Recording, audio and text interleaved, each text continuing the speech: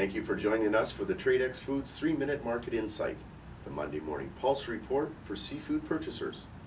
Some quick and interesting news out of North America. Alaskan pollock came in heavy, and processors filleted almost all of it. As a result, fillet supplies have stockpiled, and there is downward pressure on prices. And in Europe, for the last four weeks now, analysts have been expecting the Atlantic salmon market to stabilize, but prices have kept on dropping. And as October comes to an end, salmon farmers prepare for more slaughtering. That will push prices down even lower.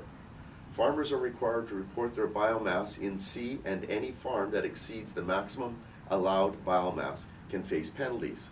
Hence, the pressure to slaughter more fish. Not only are prices dropping, but an interesting inversion is happening on the spot market. Smaller fish are selling at a premium to larger fish.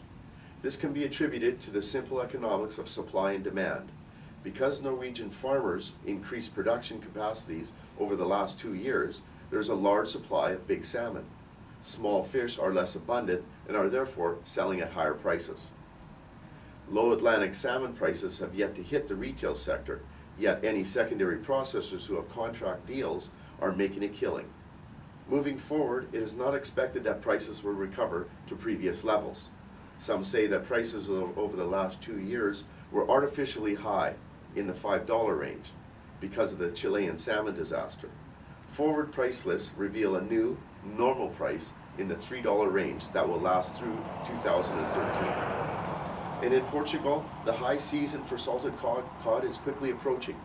Generally at this time of year, processors are upping production in the preparation for the Christmas season. Market prices on Atlantic and Pacific cod are both high this year, and similar to salmon, spot market prices have yet to hit the retail sector.